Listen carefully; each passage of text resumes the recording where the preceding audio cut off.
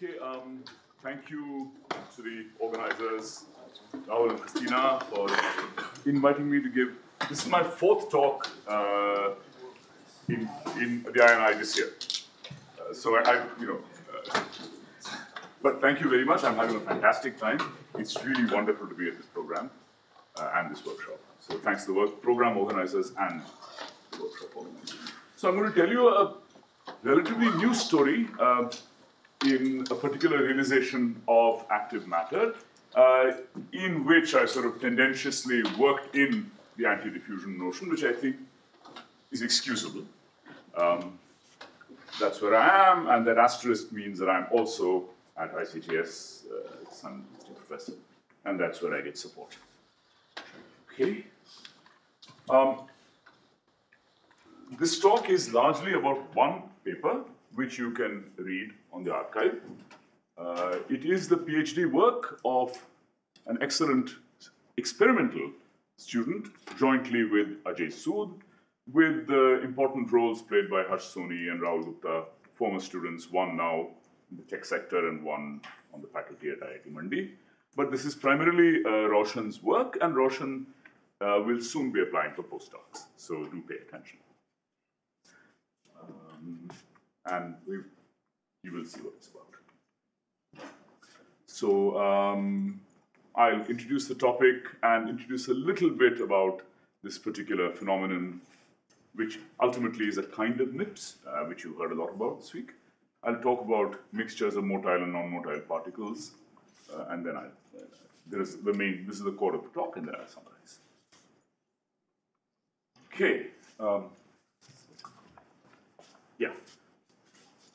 So um, there are many ways to study active systems. You can study real live stuff. You can study stuff extracted from cells or purified and reassembled and reconstituted and so forth. Uh, but for many purposes, it's nice to work with artificial systems.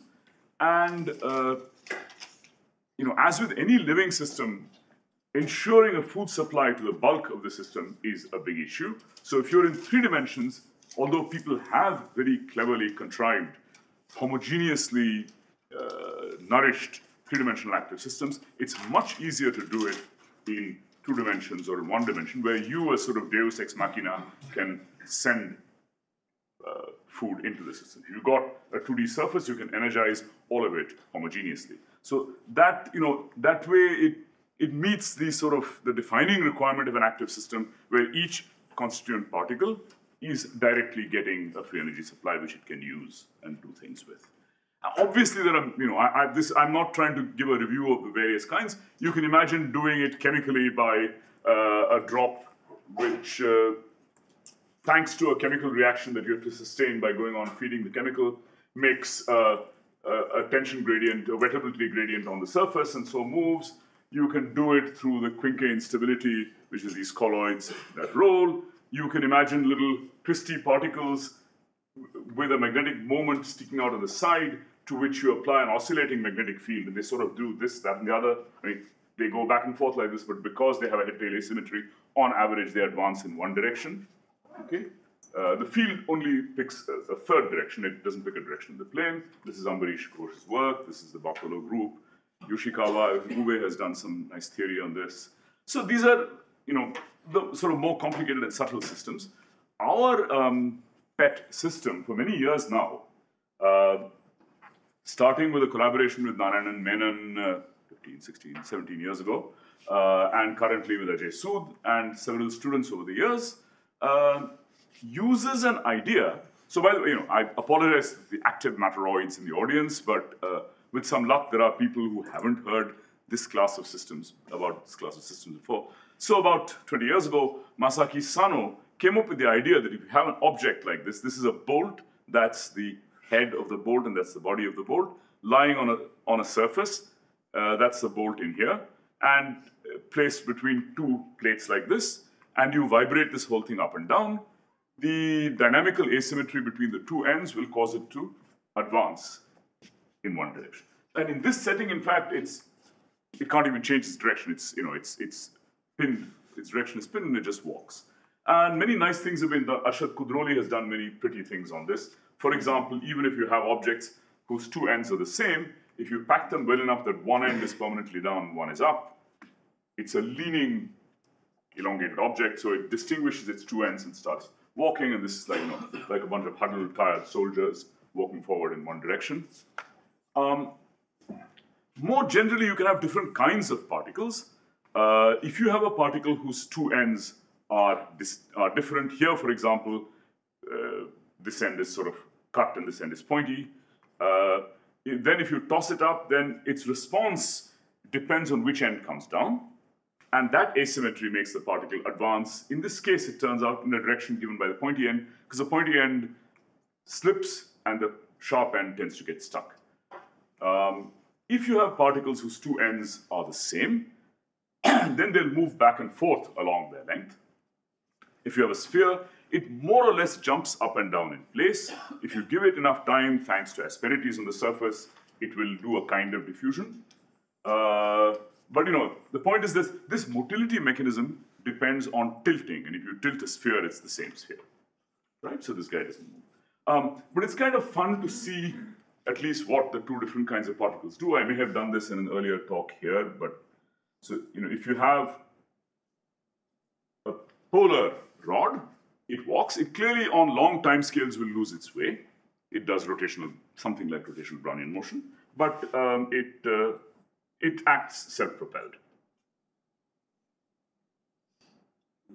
If you have particles whose head and tail is more or less the same, they tend to shuffle along their length, and the non-equilibriumness here is an unequal distribution of the kinetic energy between longitudinal and transverse movements.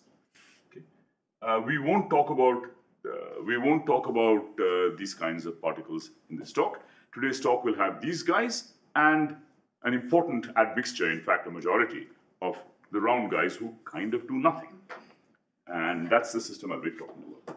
Uh, over the years, uh, this work started with PhD student, Vijay, back in 2007, Nitin more recently, and Roshan uh, currently. Um, yeah. So, it's the reason I'm spending a little extra time on this bit is to point out that um, there are two features that distinguish this kind of active matter from things in bulk fluid. Supposing you had a swimmer, but you confine it between two plates, so it's in contact with a substrate and a wall. That's a momentum sink. These guys are also in contact with a momentum sink, but there's a very important difference, okay? These guys are walking. If you think of the microorganism equivalent, it's like bacteria with pili. It's not flagellar motion, it's actually walking. Okay? Momentum balance and motility both uh, involve direct dry friction with the solid substrate. Okay, so they walk. Just like us, we can't walk without, walk without static friction. These guys can't walk without static friction. Okay? Um, if you have swimmers with a wall, or those Quincke rollers that I showed you about, Indeed, the base the, and the base and the lid are a momentum sink, but the, the interactions and the motility are due to, uh, due to the fluid medium. So if you try to modulate the properties of the fluid medium, that doesn't really change the interactions between these guys. Okay? Because if you scale up the viscosity, well, that scales down the velocity. So you can't play around much. Maybe you could put other stuff in the medium, but you can't play around much with the medium to play to modulate the interaction between the particles. Here, the motility mechanism is thanks to the bare substrate, and now if you add stuff, these moving guys talk to each other through the stuff that you added to an extent that depends on how correlated the stuff you've added is in that background. So it is a kind of hydrodynamic interaction, but it has an important difference. Okay? The momentum transfer laterally through the beads is important, but it's in your hands. Okay, so that, um, and that, that really makes the system different. Uh, lightning review of MIPS. You know that if you have hard particles, then increasing their concentration doesn't do a whole lot if there's no other interactions. If you have dead hard particles, if you have motile hard particles, then motility together with excluded volume leads to this interesting phenomenon of a kind of condensation or phase separation, which who the creators of which are many people in this room. I saw a nice review recently by Joachim, which uh, I recommend you. Um, and uh, basically, this is the idea. Uh, it's useful just quickly to, oh, uh, to remind ourselves of the mechanism. So you can, if you think of this a, a pre-existing blob, the influx into the blob is the number density times the persistent times self-propelling speed. The efflux from the blob, if you have particles with a rotational diffusion time tau, is this combination in d dimensions. And if this exceeds this, you get condensation. This argument doesn't work perfectly at very long persistent times, I think, but okay. And that gives you this criterion which you saw in Aparna's talk yesterday, namely that when the Peclet number times the packing fraction is of order 1 or something, you should get this type of condensation. Uh, the reason I'm dwelling on this is that for all that effective theories of MIPS are presented as just a modified phase separation, which you, you can think of as an implicit emergent attraction, it's important to keep in mind that this type of condensation is happening not because anybody is attracting anybody, not even to the extent that you would get, say, in depletion forces. It's really happening because of pushing. Okay, these guys are packing each other. Uh, so in today's talk, I'm going to tell you about a situation in which the motile species and the species that undergoes condensation are separate. You know, our friends in quantum many-body physics like to tell you about spin charge fractionation. So here I'm telling you about motility density fractionation. Uh, two important features, one this, the other is that the particles I'm talking about will not, the motile particles are elongated and their aligning interaction is very important. Okay. Um, all right. Um, the talk will feature theory in the later part, but it really is the PhD work of an experimental physics student, and i will dwell a good deal on the experiments. Uh, it's lucky that uh, uh, computer slides don't get old. Um, so the experimental system, for those of you who don't know it, is this industrial shaker. Uh, in this particular experiment, that the viewing the sample lateral dimension is about 10 centimeters across. Uh, it vibrates. the uh, sort of uh, RMS uh, accelerations are about 7g, quite fast and very tiny amplitude. Um, and this, we, we, we take a strictly, uh, a quite two-dimensional system that the viewing window is the lid and there is a base. Uh, the particles sit in here. They have enough room to tilt up and down a little bit because, you know, they need to walk. And uh, you can have different kinds of elongated particles, but uh, which are available through a source, which I can tell you about privately. Uh, in practice, it turns out that it's useful to have fairly heavy motile particles and lighter uh, background beads because they get pushed around more effectively. Um, and this is, this, is, this is what the setup looks like. There's an accelerometer uh, and a function generator. The function generator drives it. Accelerometer can measure various things, although I won't be talking about accelerations, and a camera that views it. Uh, it's the kind of experiment that a theoretician can get involved in. It doesn't involve vacuum systems, plumbing, optics, alignment, any of those things, right? So, and in fact, uh, cynics would say, why don't you just do a simulation? I will talk about simulations also presently. The, the particles are big, half a, half a centimeter long, more or less, and about a millimeter in diameter. The spheres are about a millimeter in diameter also. So that's the experimental system.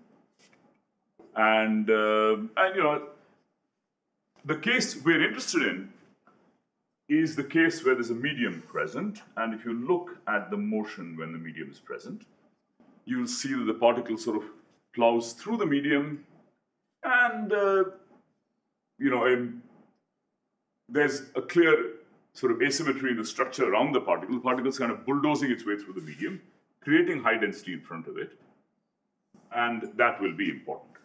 Um, So let me tell you about sort of background earlier work before I launch into the actual uh, subject of today's talk. Uh, you, these particles, these motile particles, can create interactions with each other through flow. If the medium is so dense that the beads are in a crystalline array, through strain, or in a sort of in between densities through just changing the density. Okay? Density, flow, and strain. So if the medium is fluid but reasonably correlated, a moving particle creates a pair of vortices. Now remember, these are not bulk swimmers. They don't create a four-roll pattern. They're on a substrate. So you get a flow like this. This the, the, the image of the flow is exaggerated by the fact that I've shown you unit vectors, not uh, vectors, but they create a flow like this. And that flow, the important thing is the distance out to which that flow is roughly in the same direction as the sky increases as you increase the density of beads. Okay? The packing fraction of beads. So this is what I was telling you, that these guys, the degree to which they talk to each other depends on how packed the bead layer is. Okay? All right. Um, and the other part of the story, not of today's talk, but of this one, is that if you put another rod in its vicinity, again with its nose pointing like that, then the flow created by this rod aligns it. Okay? Uh, and it aligns it for the same reason that the wind aligns a weather vane. So if your two ends are a little different, if you have a flow past you, your response to that flow, because everything is anchored in the substrate, doesn't have to do with the velocity gradients, but with the velocity itself. There's no Galilean invariance here. You've got a substrate. And so non-uniform drag on this object orients it. And this turns out to give you fairly spectacular phenomena, which I feel compelled to show you, even though they're not the subject of this talk. So at packing fractions of motile particles, where the motile particles themselves, without the beads, wouldn't know about each other's presence, the induced interaction via the beads gives rise to an disorder-to-order transition, which is old work. At much higher bead densities, the beads themselves organize themselves into a crystal. And so now you've got motile objects moving through a crystal. Uh, the work, the recent work by Silke Henkes looks at an elastic medium made of active Brownian particles. Uh, and some aspects of that are related to this problem, but the reorienting by strains in the medium doesn't come into it. Recently, we looked at the coupled dynamics of motile particles in a bead medium at packing densities where the beads are crystalline. And it turns out that these particles talk to each other through the strain field, like this.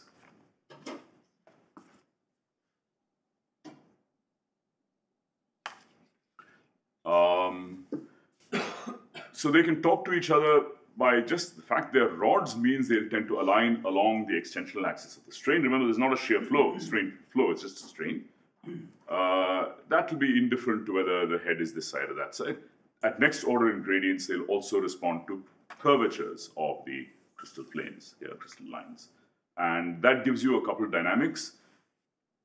A moving particle creates a strain, a strain reorients the particles. If you patch this together, you see that this effect the strain created by one particle makes it call out to another particle in a funny kind of uh, uh, taxis. And what you get is that you get a strongly fore-aft asymmetric, a strongly non-reciprocal interaction between these two particles.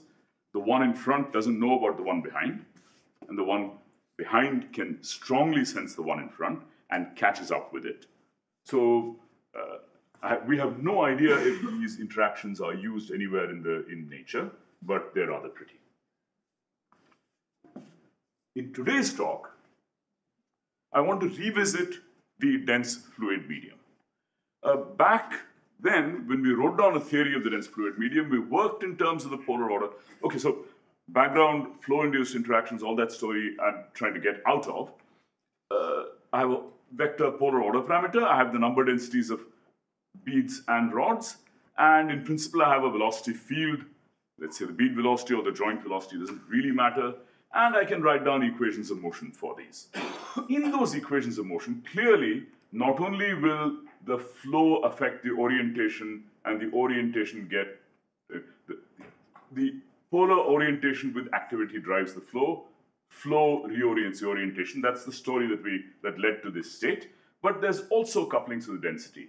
We in that work we mentioned them and then uh, completely ignored them at that stage. We focused on flow effects. So today what I want to do is to work in a medium whose only property I'll really worry about is the density.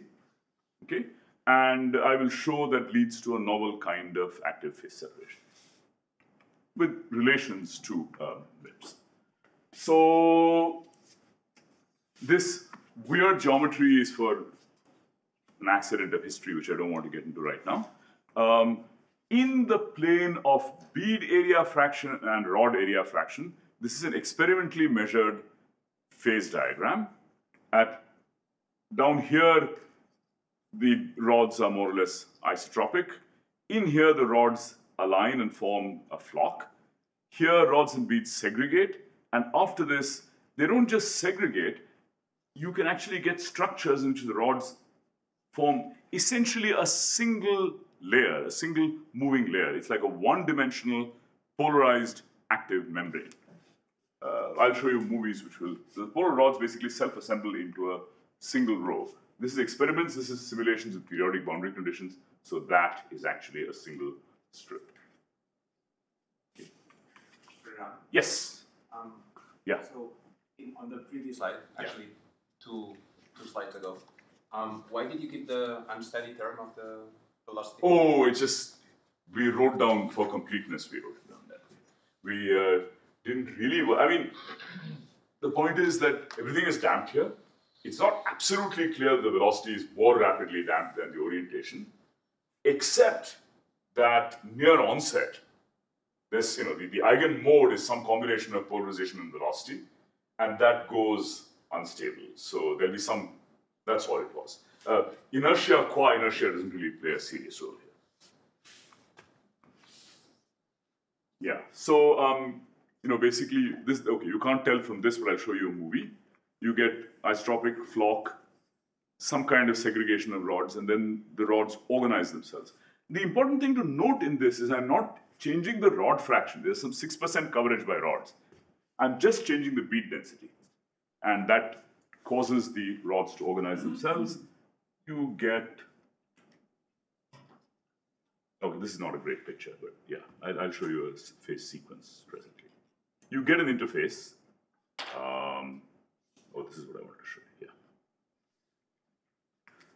So I, uh, it's not super convincing. Probably if I play around a little bit with area fractions, I can get something different. But there's, on average, a systematic circulation here, which, believe me, is not here. But um,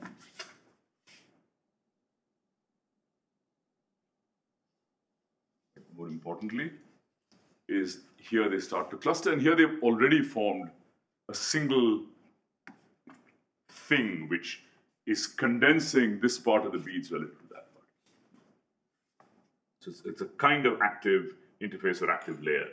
You can, yes? In the absence of any rods, Yeah. does the just the bead vibrated motor Yeah. layer still develop uh, over No.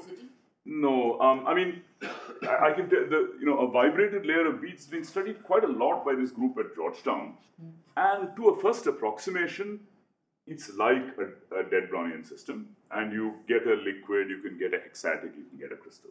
But you don't get circulation. like Not really. get- I mean, not really. It doesn't look like you. Yeah. So I mean, if you're careless and you tilt, you know, a shaken box of sand starts seeing convection rolls because of you know things that imitate hydrodynamics. But no, uh, even that doesn't happen. Um, uh, one thing that's helped us understand many of these things a lot is these mechanically detailed simulations, dating from Harsh Soni's PhD work 10 years ago. Uh, this is this is not a Vicsek model. This is not an agent-based model. This is total mechanics, sort of killer. It has everything. It has inelasticity. It has static friction. Uh, it has a base. It has a lid. And you see, and the advantage is it doesn't have a boundary. So it's simulations with periodic boundary conditions. So you know it's it's not super clean as you can see, but if you watch and with a sort of parent's loving eye, you will see this form. Okay, so it self, self-assembles into one line. And that simulation is as good as an experiment in the sense it's a, it's a tedious mechanical recreation of the conditions of the experiment. Okay. You're uh, sorry, still yeah. in a regime where the beads are a fluid, that's high, taking practice. I'm, no, I'm, I'm not assuming anything. This is just I'm letting the beads do whatever they want to do. Uh, depending on where you are in packing fraction, the condensed regions can indeed become Well, what's the density packing fraction when they become? 75 percent, Yeah, I think, roughly 76. I, I think it's about that. Yeah. Yeah. Uh, so you know, in the previous the work we did on these pairs interacting through elastic interaction, I think we had to cross about 75 percent to get the bead medium to be elastic. And it's cleanly, you can really see all of a sudden there's no large scale motion, but you can, if you're careful enough, you can measure the strains, you can, you can measure the displacement field in the crystalline case, the displacement field created by a moving rod. That's a separate interesting story, which I'll tell you about another time. You can also work in sort of quasi 1D geometries. And so imagine you take an annulus and then imagine studying this problem for annuli of- fixed width but larger and larger circumference. Then you're doing essentially a, an effective 1D system. And there also you see, in fact, there often you see this. In fact, typically you see not one interface, but two pointing opposite, and they capture this blob, this region of beats. There is a very nice uh, work now, again, some years ago, and again by people in this room, um, in two dimensions.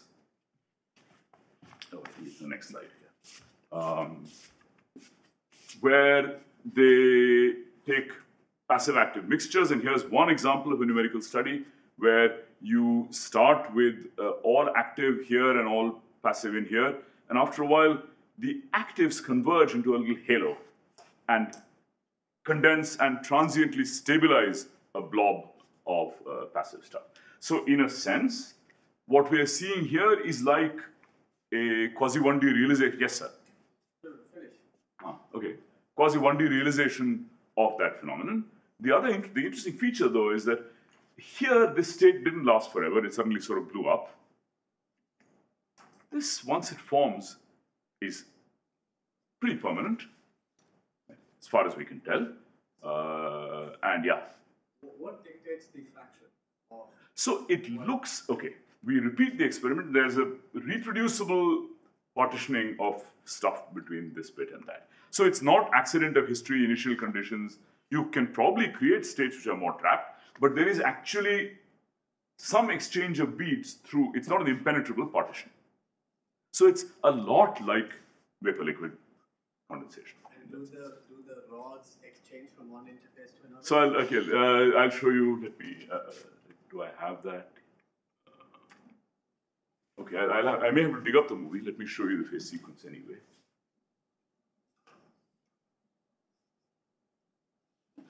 So you can watch. I, the image is not wonderfully clear, but you can watch here.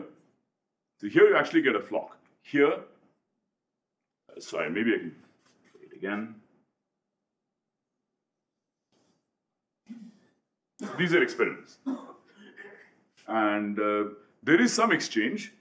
And I'll tell one of the things that happens is if there's an imbalance between the two sides, so that this whole blob is moving, that tends to free up rods from the back end. They defect, they go to the other side, and it seems to self stabilize in this way. Yes, Yeah, I was wondering because the rods seem oriented. the rods are oriented, But uh, you know, if the, if the doesn't move, see, but the layer doesn't move. once it's settled in, in this, it's like the rods are like They're this. Yeah, it's a kind of pincer movement, Right, as the so- military people would say. So And if it's unbalanced, this thing moves. If it moves like this, it becomes feasible, and it happens that a few defect from this side and go to the. And I'm saying they defect from this coalition to the other one, and it seems to self-stabilize.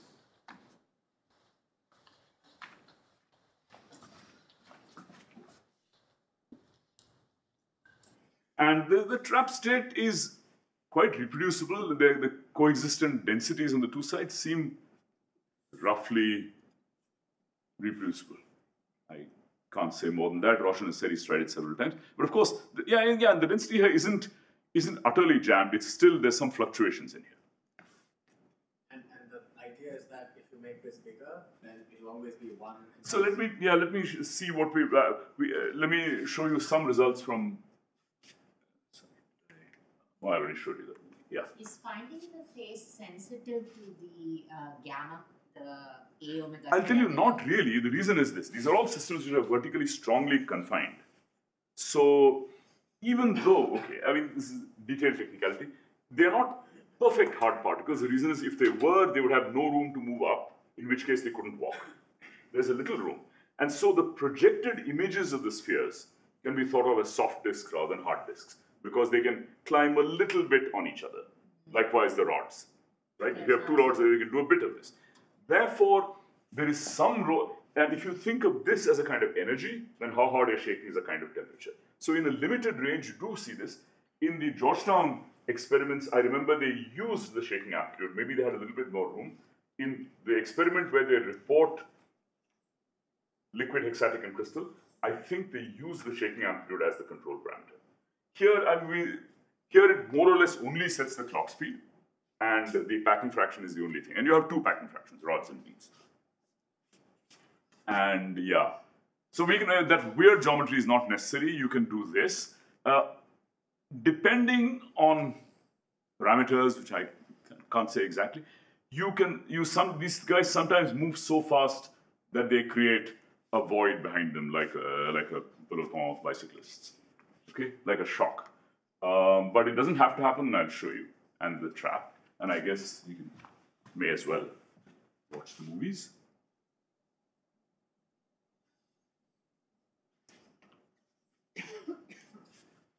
Yeah, sorry, the contrast is not brilliant, but you can see they've that here you've got these guys moving and they seem to move so fast. And you know, there's there's some kind of uh, frayed edge at the other side, so there is something like diffusion going on in these beads also. Um, yeah, we've been sort of uh, imprecise about what to call this moving object. I think moving active membrane is probably the best thing. All this piston and stuff is very weird. Um, anyway, uh, you can ask, you know, how big a condensate can this little layer of rods sustain? So that for that kind of thing, a simulation is useful. So here, for example, we have uh, this long dimension being 249 bead diameters, and here 498 bead diameters, same width. Uh, periodic boundary conditions along this axis, walls here, solid walls here. And you will see that it seems to be able to carry with it a very long, uh, it doesn't seem to carry, at least we don't seem to have reached any limit here. There is that weird void from moving too fast, which I'll say a little bit about. And, and for how Yeah. small of a bead fracking, a bead packing fraction, do you still get this?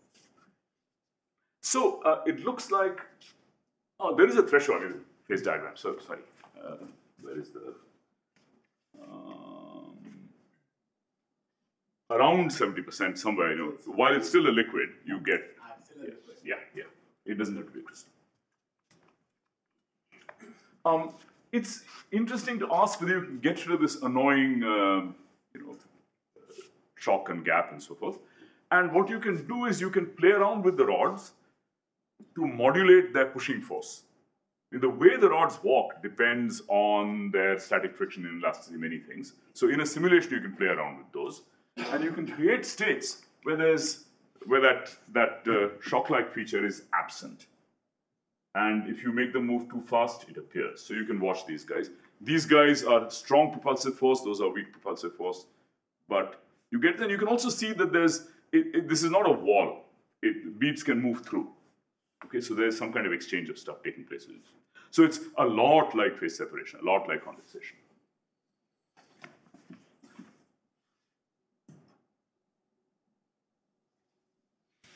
Um, we don't, so they seem to be fairly well-defined coexistent densities, at least at low force.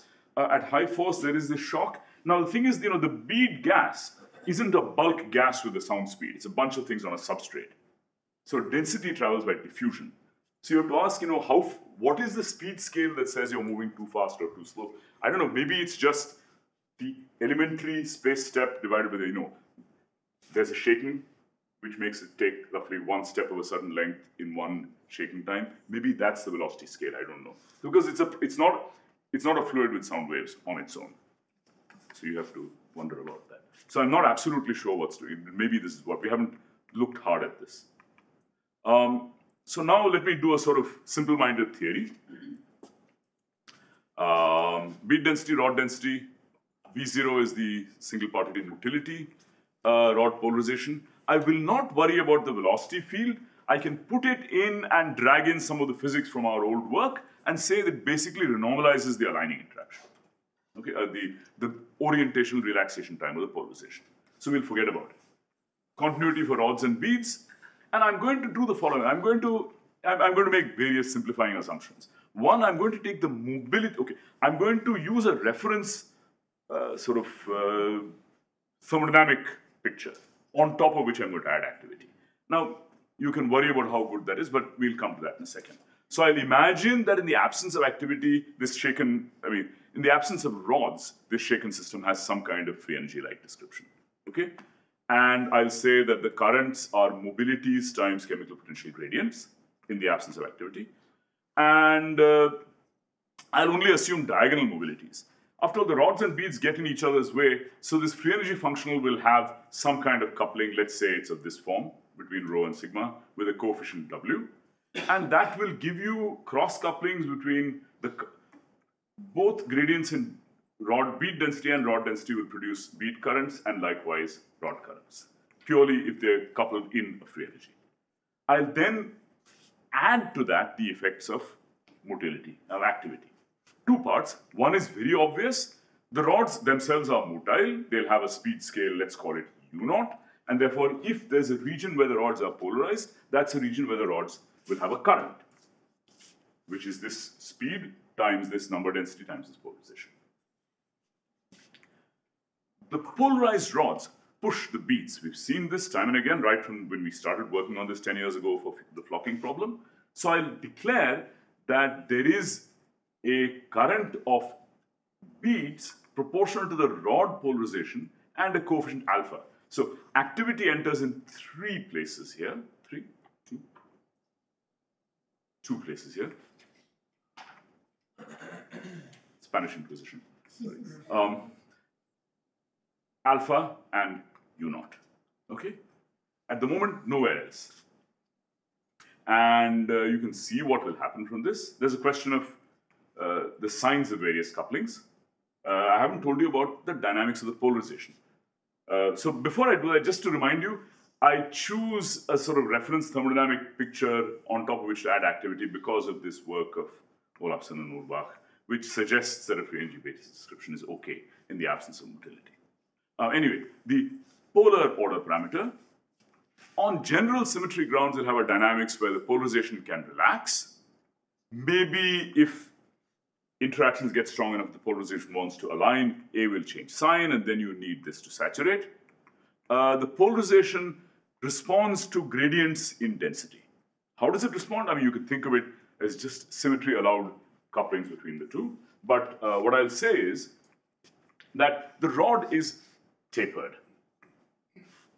And so, you know, left to itself, if you presented it with a bead density profile, chances are it'll, you'll find it with its bead, with its nose, narrow nose in the dense region and its tail, fat tail, in the low density region. So it likes to point towards high bead density.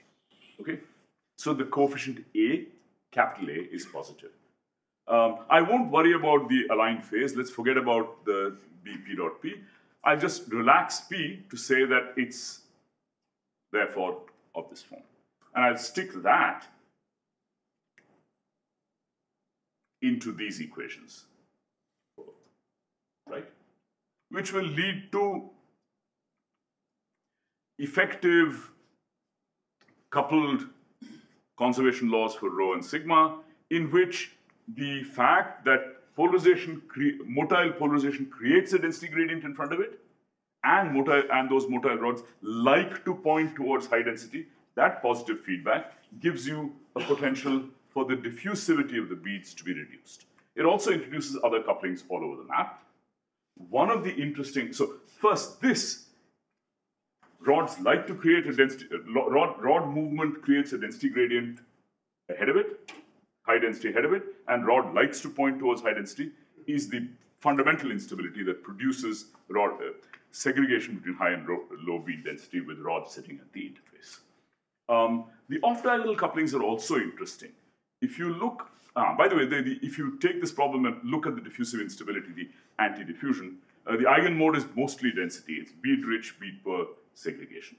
Now, as for the off-diagonal terms, um, back here. Actually, before I go there, um, you can ask, okay, I'm clearly I'm trying to write down some Cahn-Hilliard-like description. I have about 10 minutes. I'll stop in about three or four. Um, what about next order gradients? What about the surface tension term? So, you know, if you take this picture seriously and write down the polarization dynamics, including orientational elasticity for polarization, and then invert in Fourier space, this guy gives you a tension term, provided activity is also present.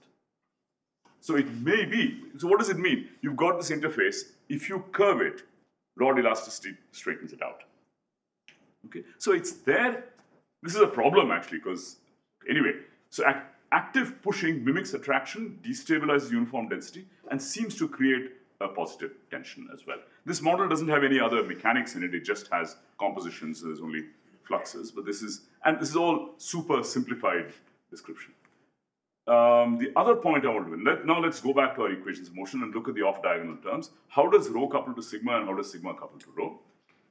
d rho sigma is the bead mobility times this cross interaction parameter. d sigma rho is the rod mobility times the cross interaction parameter. So rods are long compared to beads, so you would expect the rod mobility is small compared to the bead mobility. In that case, that means that this guy is small compared to that guy. And you can imagine, therefore, that by increasing the bead fraction, this term can change sign while this term doesn't. So this offers one natural path to uh, non-reciprocal Cahn-Hilliard kinds of, couple Cahn-Hilliard kinds of descriptions. Okay? Right? Um, so you can take those equations. We haven't done anything beyond linear stability analysis. We just looked at the modes and you can look at the, the nature of the onset starting from an isotropic phase or starting from a polarized phase. There are differences of detail. Clearly in the polarized phase, everything will be moving uh, anyway. Okay, uh, let's try to understand how, okay, so that's the end of the sort of field, baby field theory for this problem. Um, the other thing we can do is ask, supposing you have a self a pre-given self-assembled active membrane pushing these guys. How much can it push? So you can write down number conservation for the beads, and you can declare that this little edge here is a moving delta function with force F, and you can say there's drag on the beads and that there is some kind of bead pressure. Okay, there's vibrations making them move around. So the beads have some kind of equation of state which for the Muir is probably uh, a hard sphere equation of state, confined, planar confined hard sphere equation of state. Uh, this sort of problem has also been studied in the context of motile things in, in glassy or nearly glassy systems by uh, Rao and company. Now, this problem, we, I won't solve the phase separation problem. I'll declare that for x going to minus infinity, or plus infinity, sorry, wrong.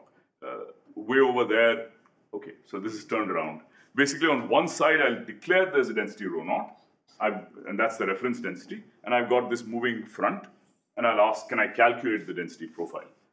So if I take the equations I wrote down and co-move with a rigidly moving solution, I get this sort of mess, uh, so which gives me a condition for the density jump in terms of the jump in the pressure gradient across this guy.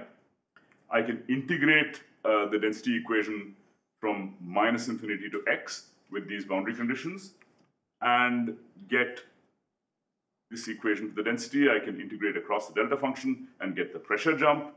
If I pretend that the del pi over del rho uh, on the left is whatever it is at the reference density, I'll get a constant density. So if the front is moving this way, I'll get a constant density behind it, which is just the reference density. And if I assume that pi prime of rho on the other side is everywhere is equal to the value just after the jump, I'll get an exponential decay profile with a length that diverges as pi prime of rho goes to infinity. Okay, so the more densely packed it is, the longer the decay length. So basically, it looks like I can get a very, very, very large condensate. Remember, there's no inertia here. Just nudge, nudge, nudge, nudge, and you can move a lot of stuff along. Okay, so the extent of the bead-rich region seems to be limited only by its compressional stiffness. Okay, so that's the end of my talk, and I have five minutes for questions. Uh, there are various things which we don't understand. I gave you equations with a diffusive instability. I should see a spinodal pattern. I always see only one interface and two domains, no matter what I do. We've played around a lot. We don't understand, but we haven't played around with changing parameters like by hand changing the rod orientational diffusivity. There are many other possibilities. So, you know, a detailed theory is in progress. It's an optimistic statement. One of the things we don't understand is where is spinodal decomposition. And I think it was Mike last year or earlier this year who asked me where it was. And this is Roshan's PhD work. You can read about it. And thank you.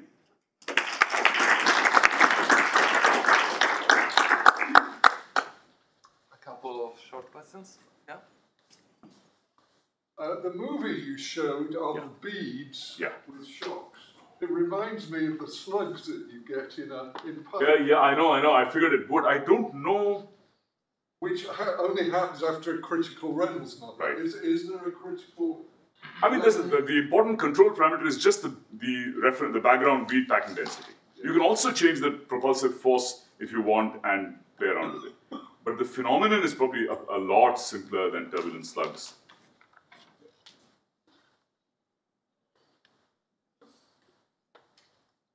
Sriram, would you go back to your linearized equations for Yes. just a moment? So, uh, over here. Not this one, the, yeah, this one. Yeah. Why is the direct diffusion coefficient in rods Hmm. having this anti-diffusion thing with respect to? It doesn't. I've, I've written it. This is a matrix, right? I've just written the rho term here and the sigma term here. Yeah, but that, Yeah. the, it, the Well, why does it have this? seems To lower the diffusion coefficient of the single guy? No, so I'm saying that the, the, the, the, the couplings between the two. Remember, okay, um, so this- this is just multi. I I got rods. Supposing I didn't have beads, I just had rods, rod polarization and rod density. The rod density has rod polarization has a preference about which way to point with respect to rod density gradients. Hmm. So this whole story can be told even there. I don't have such a clear idea which way the rods like to point with respect to rod density see. because lots. So I. So I mean, if I just wrote a couple of theory only of density and polarization, the rods I get some effects that are similar. You know, as far as I understand, this is some kind of interface theory that you construct, but at the end you said that the interface width diverges, so I'm a bit worried. The interface width doesn't diverge. The bead, the the, the how the size of the condensed Front. bead fragment chunk Ah, can be big. Yeah, the interface width that doesn't problem, diverge. yeah. Yeah, we've also done some small scale measurements uh, of whatever interface fluctuations we could detect, and over sort of again parents loving eye a range of wave vectors. There's actually a one over q squared for the height variance, but it's a very small range. So I don't know.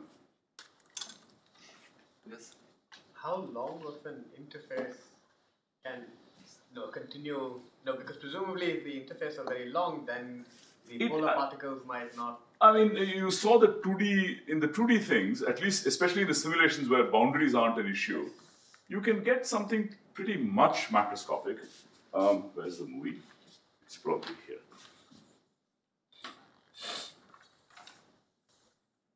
I mean, they can more or less span the system. They're a little crappy, uh, but uh, we haven't tried very hard to optimize. But on average, they're there. I mean, remember, this is periodic, so it's a line going across the box. So it can be. I don't know that there is that there is an instability. I mean, I don't know either way really. Yeah. Okay, so I will. stop. Thank you, Sriram.